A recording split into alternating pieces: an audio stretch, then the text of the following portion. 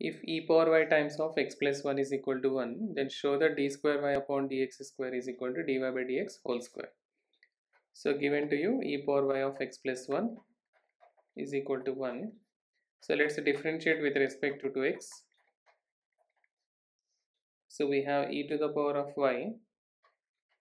Into differentiation of x plus 1 we can write 1 plus 0 plus again x plus 1 times of differentiation of e power y we can add e power y into dy by dx is equal to 0 or we can write this as e power y plus x plus 1 of e power y dy by dx is equal to 0 or we can take out e power y common. Or let me send side. So e power y of 1 plus x plus 1 of dy by dx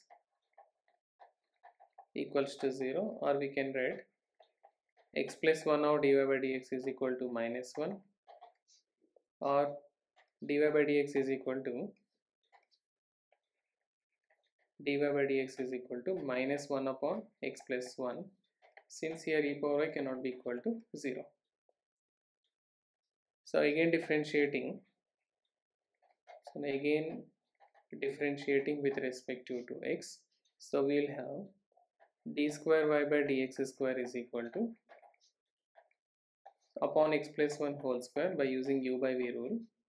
So x plus 1 into differentiation of constant minus 1 is 0 and again minus of minus 1 into differentiation of x plus 1 is 1 so we'll have 1 upon minus of minus plus 1 upon x plus 1 whole square.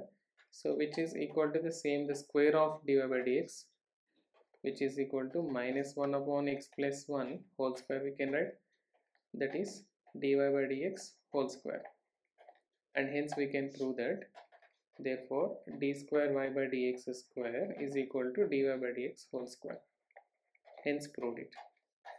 Okay thank you